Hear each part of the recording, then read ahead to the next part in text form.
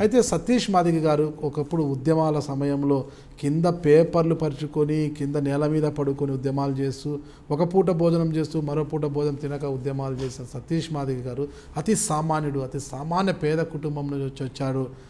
చాలా బలి అంటే ఎస్సీ కులంలోని అతి సామాన్య కుటుంబం నుంచి వచ్చిన సతీష్ మాదిగ గారు ఈరోజు కాస్త స్థితిమంతులుగానే కనిపిస్తున్నారు అని అంటున్నారు. అంటే సతీష్ మాదిగ గారు ఎటువంటి రాంగ్ ట్రాక్లో నడవకుండానే ఈరోజు కాస్త అంతో ఇతో స్థితిమంతులుగా మారారని అంటున్నారు. అనుకోవచ్చు. నేను ఇప్పటికి కూడా ఆస్తిమంతుని కాదు. నేనేం మెరుగుపడలేదు.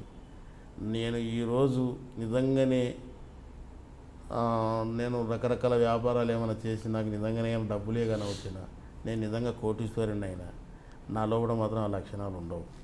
నేను గుడిసెకాడ గుడిసెకాడని బొంతకాడ వేసుకొని అన్నం తింటా పేదలతోన ఏసీ రూమ్లో వండుకునే కాడ ఏసీ రూమ్లో కూడా వండుకుంటా.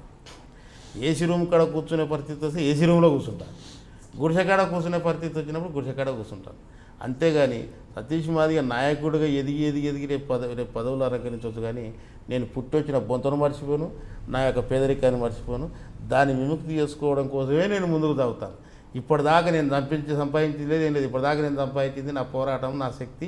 నేను ఇప్పటిదాకా తింటున్న తిండే కానీ కడుతున్న బట్టనే కానీ మొత్తం ప్రజలదే. ప్రజలతోనే ప్రజలతోనే సహజీవనం నాకు అంత తప్ప వేరేది మాత్రం కాదు. మళ్ళీ ఇలా అంటున్నప్పుడు ఎన్నికల్లో ఖర్చు పెట్టాలంటే కనీసం ఎస్సీ నియోజకవర్గాలు అయినప్పటికీ కూడా రెండు కోట్లు కనీసం రెండు మూడు కోట్లన్నా ఖర్చు పెట్టాల్సి వస్తుంది. అంటే ఆ నిధులు ఎక్కడి నుంచి మీరు సమకూర్చుకుంటారు? పార్టీ ఇస్తుంది. నేను ఎస్సీ లీడర్ని కనుక ప్రజల ఆదరణ ఉంటుంది కనుక నాకు పైసలతో ఏం పని ఉంటుందండి నాకు అర్థం కాదు నేను వాళ్ళ వాళ్ళ సమస్యను పరిష్కారం చేస్తున్న నమ్మకం వాళ్ళకు ఉంది నేను ఖచ్చితంగా నాకు ఆ నమ్మకం ఉన్నది. ఏమున్నది ఇప్పుడు మాకున్న రూల్ ప్రకారం మాకు పది లక్షల రూపాయలు ఎమ్మెల్యేలకు ఇరవై లక్షల రూపాయలు ఎంత ఉన్నట్టుంది. అది ప్రజల దగ్గర తీసుకుంటాము ప్రజలతోనే ఆడుకుంటాం మేము ప్రచారం చేసుకుంటాం ఎన్నికలలో గెలుస్తాము.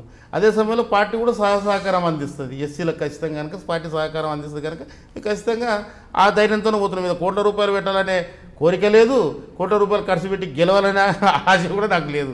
ప్రజల అభిమానంతో ఉందని కనుక ఖచ్చితంగా గెలుస్తామనే నమ్మకం ఉంది నాకు. మీరు ఎంపీగా వెళ్ళాలనుకుంటున్నారా ఎమ్మెల్యేగా వెళ్ళాలనుకుంటున్నారా? నేను ప్రస్తుతం అయితే ఎమ్మెల్యేకి వెళ్ళాలనుకుంటున్నాను.